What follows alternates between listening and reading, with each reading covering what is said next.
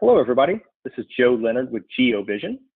This is a demonstration video of reviewing playback footage in the Edge Recording Manager 2.0 software. To be able to access playback, you will want to click on the Playback tab in the top left-hand corner. And once you do this, it will bring you into a default playback view. If you'd like to change the layout that you are viewing, you can expand the Layout tab in the top left, and you can just simply double-click on the layout that you would like to check out. When you have your layout pulled up, you will see a 24-hour time clock along the bottom with two bars. Each bar will indicate motion events by default. You'll notice that the top bar is motion events right now for camera one, but as you click on different cameras, you'll notice that top bar changes. That's indicating the motion events for the particular camera that you have clicked on. The bottom bar is saying one or more cameras in the layout have gotten motion events at that particular time.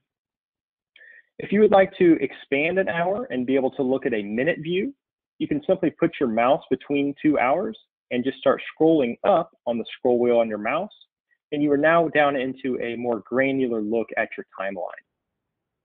You can simply click on a moment in time, and it will sync up all cameras to that particular moment. And then whenever you hit play, it will play back the video synced up at the same time.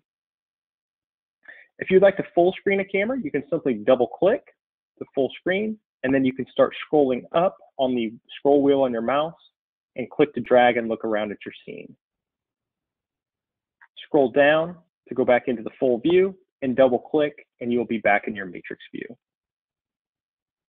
If you'd like to bring in additional cameras to review, you can expand your host list and you can expand the camera list and then just drag and drop a new camera into the timeline and then its motion events will populate.